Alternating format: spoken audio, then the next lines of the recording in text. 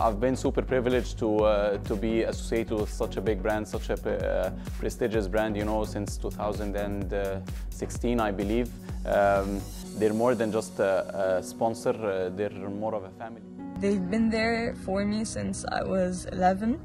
Uh, they've been supporting me with equipment and apparel, and as the years went by, we developed more of a family relationship and not just a sponsorship relationship. I've been sponsored by Dunlop since the start of my professional career.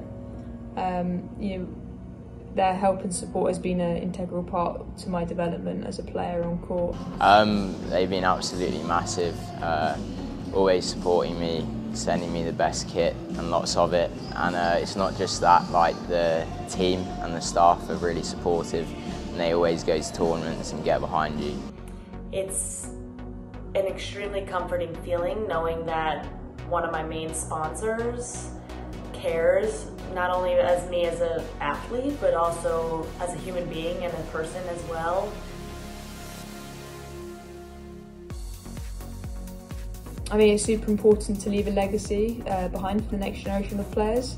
You get behind people in the sport rather than the sport itself, like we get behind the Federers and the Nadals of tennis, the Michael Jordans of basketball. I think us players, we have the responsibility of uh, taking the sport to the next level, and, and I hope we do so by the, by the time we finish our careers. Leaving a legacy is something we all are motivated by in any sort of walk of life. You know, something that people a number of years from now will remember you by. You know, when I was growing up, the people like Jonah Barrington, Jahangir Khan, people that were just inspiring. They inspire next generation. So leaving a legacy, you know, is just probably one of the most important things you can do because unfortunately we're not here forever. Since the foundation has been formed, the impact that it's achieved is incredible and probably something though that is happening day in, day out without people being aware of it. And it's not until those future years that the legacy is probably realised, the impact that it's actually had. So incredibly important and it supports the tour behind the scenes at the grassroots level that perhaps people don't always see and that's so important to so many people. Squash isn't necessarily the most accessible game to everyone so making it easy for people to play um, will be massive and then as soon as they get on the court I reckon they'll love it because it's hard not to.